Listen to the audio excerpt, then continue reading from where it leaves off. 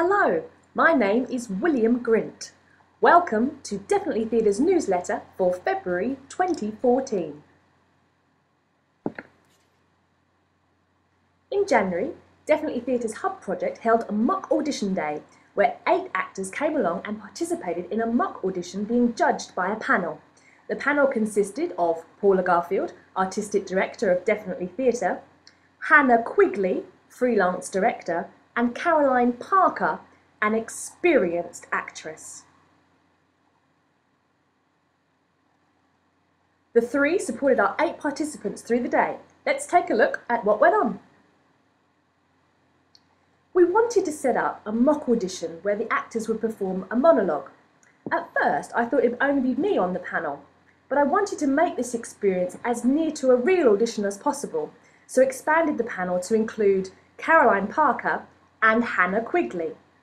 These extra members of the panel gave a fresh new perspective to the audition as the participants weren't expecting them to be there and so they had to cope with this. It was good to throw them into the deep end as it were as this reflects real life a lot more as audition panels usually consist of more than one person. Caroline pretended to be a casting director, I was a sign language consultant and Hannah was the director, so the one who asked most of the questions. Very interestingly, some of our participants focused most of their attention on Hannah, not making eye contact with me or Caroline as much.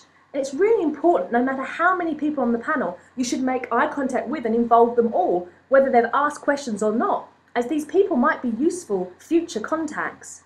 I know I learnt from other members of the panel on the day, and the participants have told us this mock audition felt like a real one, and it's really made them think about how they present themselves at auditions in the future. Some actors arrived having not prepared their monologue at all and asking us to hold the piece of paper. This is not acceptable practice, so this whole experience of a mock audition has been really useful, and I hope we'll be able to do it again in the future. You may have heard or seen the rumours that Deafinitely Theatre is going back to Shakespeare's Globe this summer. We'll be back performing A Midnight Summer's Dream on the 2nd, 3rd, 6th and 7th of June 2014. You can book your tickets from the 10th of February onwards. For more information, please visit